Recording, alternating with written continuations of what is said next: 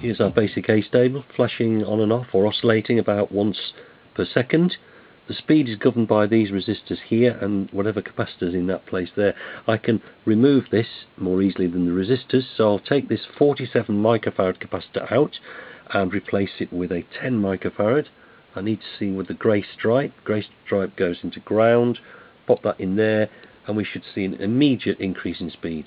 This is a 10 microfarad. I can change it again to a 1 and this will mean that to our naked eye it's not possible to see the change. I was surprised to see on the camera that we still can because the camera's taking frames at a time so you can actually see that it's still working but if I drop down to a 0.068 capacitor by the way when we give these out to children they still think that they these legs have to go in the same holes as the electrolytic did they're closer together. And they end up mangling the legs on the capacitor. I so wish they wouldn't do that. This one will need to go in the next hole up because it's wider. And now even on camera we cannot see any difference. You would think that the circuit had stopped working.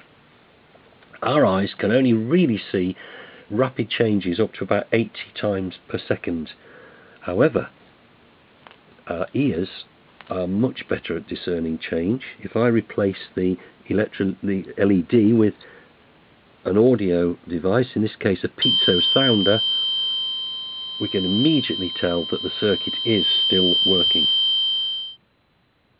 We've now modified our basic uh, speeded up astable and added a light dependent resistor. They're called LDR for short. They used to come in this size, my diagrams feature these, but nowadays we can get much smaller ones which fit more neatly on the breadboard.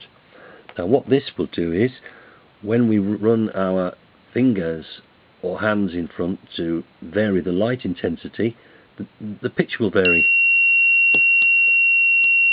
And as I demonstrate now, children's ears are very sensitive.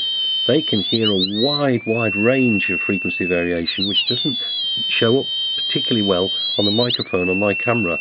But they've also got extremely vivid imaginations and I've always found the much younger groups when you mention Star Wars and Jedi powers, they seem to rise to the occasion. They love it, and let's face it, anything that we can do to encourage younger children to become involved in electronics can surely only be a good thing.